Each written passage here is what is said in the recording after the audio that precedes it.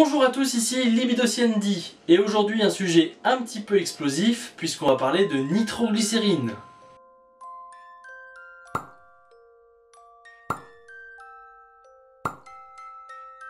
Pour faire simple, la nitroglycérine, c'est un explosif très puissant découvert au milieu du 19e siècle et qui est réputé comme très peu stable.